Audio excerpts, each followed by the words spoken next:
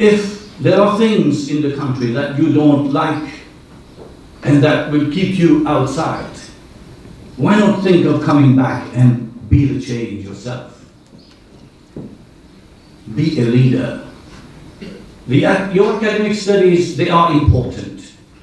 And of course, this is what has brought you to be a laureate. But not just that. I think the fact that you have also participated in a number of extracurricular activities must have helped you in your academic studies.